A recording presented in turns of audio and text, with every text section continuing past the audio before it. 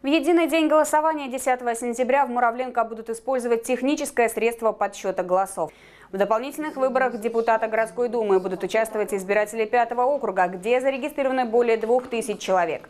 За депутатский мандат поборются два самовыдвиженца. Это Екатерина Паймулина и Алмаз Файзулин. Единую Россию представляет Марат Фазлединов, ЛДПР Ольга Полетаева, КПРФ Александр Карабен. С 12 августа начинается агитационный период. Сегодня состоялась жеребьевка по предоставлению эфирного времени и печатной площади.